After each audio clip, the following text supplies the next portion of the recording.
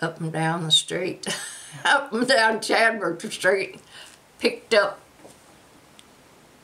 picked up four of the soldiers that were at Goodfellow. Of course, they didn't even have on their uniforms then or anything, but we knew they were from the base, so we picked them up, and we rode around for a little while, and then uh, came on the radio that Pearl Harbor was bombed and for 'em to report back immediately to their base. It was unbelievable. You know, I never had heard of anything like that before. But Jack and I, my husband, we dated for years since we were in junior high, I guess. He was at Pearl Harbor. I think he said they were going for breakfast when it happened.